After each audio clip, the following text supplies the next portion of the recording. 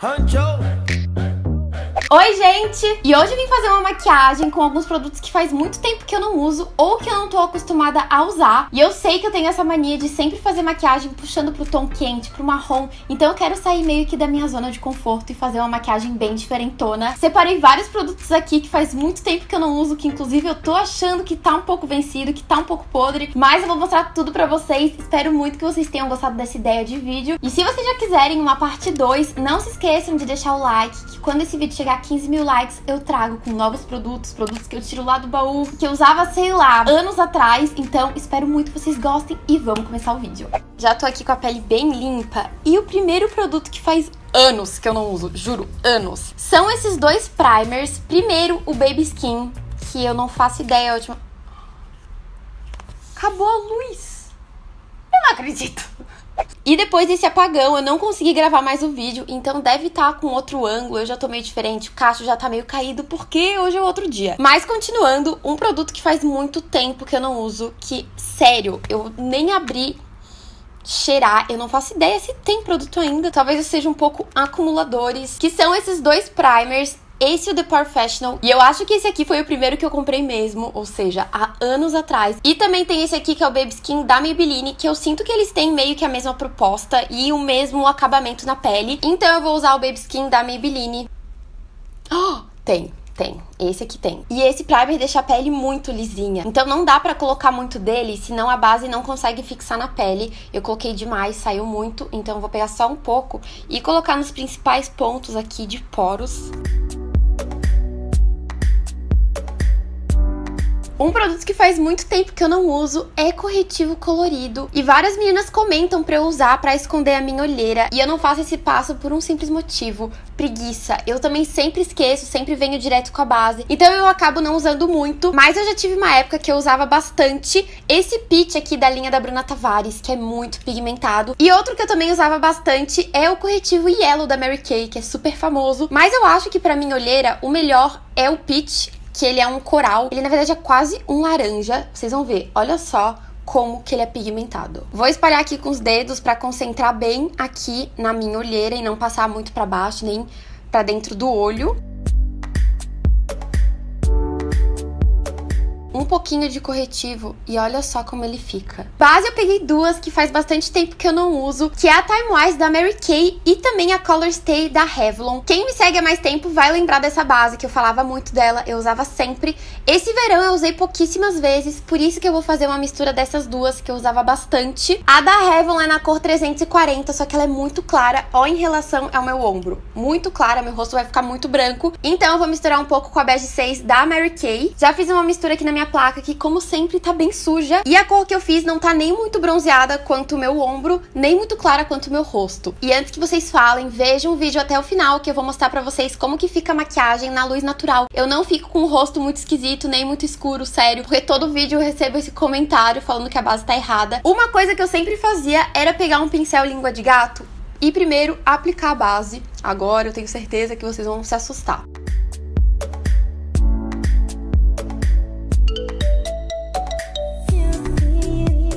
E depois eu vinha com a esponjinha pra polir toda a pele e deixar um pouco mais natural.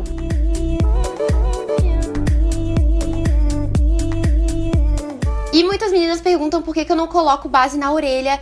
E é porque eu tô sempre com o cabelo solto, então não aparece. E eu tenho um pouco de agonia base na orelha. Então, como eu tô sempre com o cabelo solto, eu não vejo necessidade de ficar com a base na orelha, porque depois eu sempre solto e fica assim e não aparece. E corretivo eu separei dois que eu usava demais. O Prolonger da MAC, que faz um tempinho, alguns meses que eu não uso. E, obviamente, o da Natura Aquarela. E eu não tenho usado porque a cor que eu tenho é muito clara. É muito. É a mais clara de todas. E eu não gosto de iluminar o meu rosto. Eu gosto um pouco, mas não tanto, por isso que eu nunca uso. Vou tentar fazer uma mistura dos dois para dar certo. Esse aqui é na cor NW25.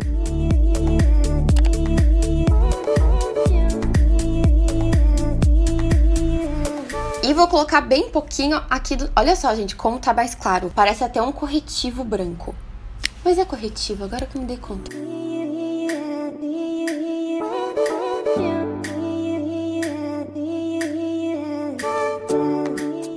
Maquiagem em bastão faz bastante tempo que eu não uso, então eu peguei esse blush aqui da Vult, que é o 04. Eu lembro que eu já testei, eu não cheguei a usar muito ele, mas eu sei que ele é bem bonito, olha só. Na verdade, como eu tô mais morena no rosto, não tá aparecendo muito, mas coloquei aqui um pouco. E vou espalhar com a esponja.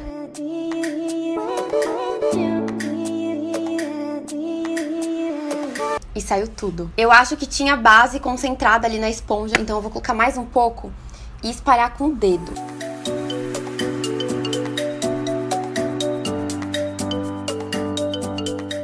Acho que ficou bem, bem leve, porque o meu rosto está mais moreno. Deve ser por isso. Um pó que eu sempre usava é o 01 da Vult, mas eu não sei se vai dar certo porque ele é na cor mais clara, o 01, e ele adiciona um pouco de cor e pode ser que a minha pele fique um pouco clara. Vou ter que esfumar bastante esse pó para não ficar claro demais no meu rosto.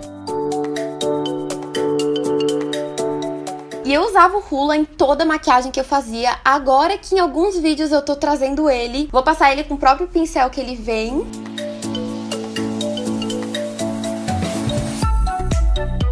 tô achando que esse blush que eu passei ou alguma coisa deu errado, que a minha pele tá um pouco manchada. Tá meio esquisito. Quem me segue há bastante tempo com certeza vai lembrar o nome desse blush. Deem pause e comentem aqui embaixo que eu quero ver quem realmente vai acertar. Gente, o blush da Ruby Rose que eu era viciada é a cor B4. Eu usava sempre e ele é muito, muito pigmentado. Tipo, muito. Olha só, eu coloquei só um pouquinho e olha a cor que já ficou no meu rosto. Já vou deixar aqui porque ele é muito bom. Um produto de sobrancelha que eu nem lembro se eu cheguei a mostrar pra vocês em vídeo. Talvez em vídeo muito velho, tipo de 2015. É esse duo aqui da NYX. Eu usava bastante essa cor aqui mais clara.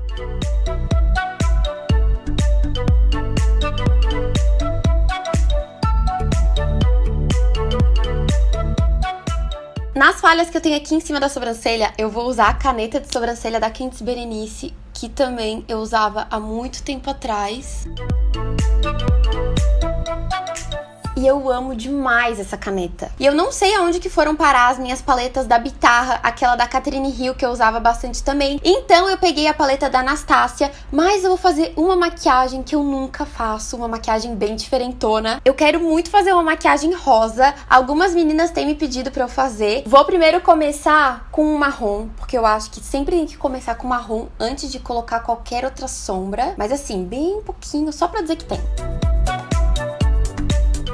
Já vou vir pro rosa, mas pegar bem pouquinho, porque essa paleta é muito pigmentada. E vou começar a aplicar no côncavo. E tá ficando roxa.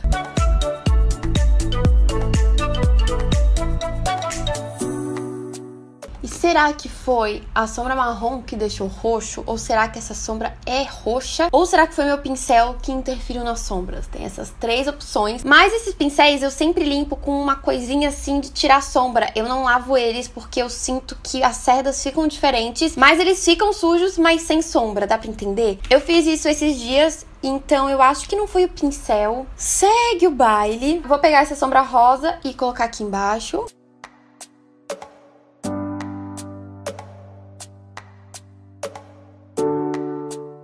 Vou escurecer um pouco o canto externo com esse marrom aqui.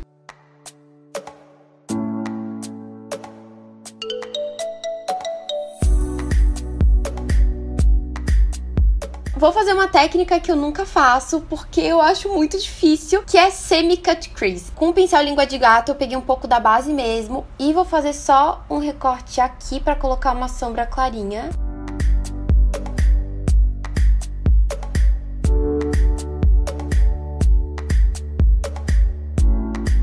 Eu fazia bastante essa técnica quando eu maquiava as pessoas, mas em mim, gente, eu tenho um grau que eu não sei o que acontece, nem é muito alto, mas eu realmente não enxergo, eu tenho muita dificuldade, até para fechar o olho.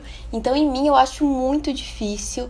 Por isso que eu nunca faço essas coisas assim que exigem muita precisão de olho e de mão. Vou pegar essa sombra aqui, que ela é bem clarinha, tipo um lilás, e vou colocar nessa parte que eu coloquei o corretivo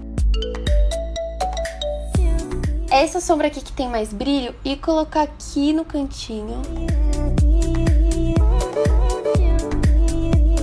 E outra coisa também que faz muito tempo que eu não coloco é esse pontinho de luz. Nunca mais fiz. E essa maquiagem saiu do controle, eu não pensava que ia ficar assim. E eu espero que os cílios postiços sabem essa maquiagem. Mas antes de colar, eu vou usar um delineador em caneta, que também faz muito tempo que eu não uso. Eu tô sempre usando o delineador líquido. Não sei se eu vou fazer um delineado gatinho, vamos ver. E eu não vou puxar gatinho porque essa caneta já tá ficando bem seca, então vai ser bem difícil. Vou só fazer aqui na raiz pra colar o cílio. Um rímel que vocês sabem que eu me apaixonei desde a primeira vez que eu testei junto com vocês é esse da Natura Una, a máscara para cílios Extremific Volume Intenso, que é esse rímel com esse aplicador minúsculo. Então vou aplicar aqui, mas não muito, é só para colocar o cílio postiço. Faz bastante tempo que eu não uso cílio. Vou usar esse aqui bem pavão de cílio, que ele é tipo aquele estilo de mink. Achei muito lindo esse modelo. Vou aplicar aqui com a minha cola Acrylex e eu já volto. Confesso que tinha achado muito estranho esse cílio, mas eu já tô amando. Gente, olha só que gigantesco. Ai, amei! Um iluminador que faz tempo que eu não uso é o Sparkling Dust da Inglot. E eu era louca nele porque ele brilha muito. Ele é um dos mais pigmentados existentes da face da Terra. Vocês vão ver agora quem ainda não conhece. Vou pegar com o pincel leque.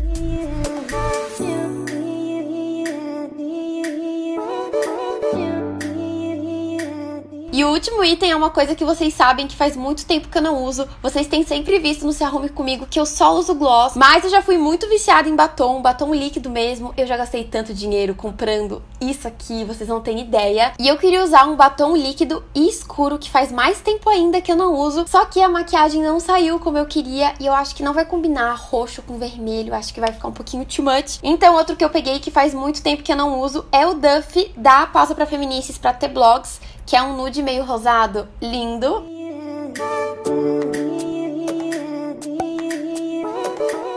E mesmo a maquiagem saindo fora do controle, eu gostei muito do resultado. Eu acho que eu nunca tinha feito maquiagem assim roxa. Gente, eu amei. Mas esse cílio também deu uma valorizada. Amei muito. Comentem aqui embaixo se vocês gostaram. E também me contem um produto que vocês sempre usavam e pararam de usar, que tá esquecido aí na gaveta de vocês. E não se esqueçam de deixar o like no vídeo, que é super importante, se inscrever no canal e me acompanhem lá nas redes sociais, no Facebook e no Instagram. Penúltima sexta-feira do Overdose de Júlia. Eu espero muito que vocês tenham gostado. Um super beijo e até o próximo vídeo. E como prometido, para vocês verem como que fica o meu rosto, a base que eu uso na luz natural. Aí cheio de barulho. E eu até tô achando o meu rosto bem branco em relação ao resto do meu corpo. Então é realmente para vocês tirarem todas as dúvidas. Eu não tô usando a base muito escura, eu não tô ficando laranja, não tô ficando com cara de barro, que nem vocês falam tá tudo certo. Mas agora sim, um beijo.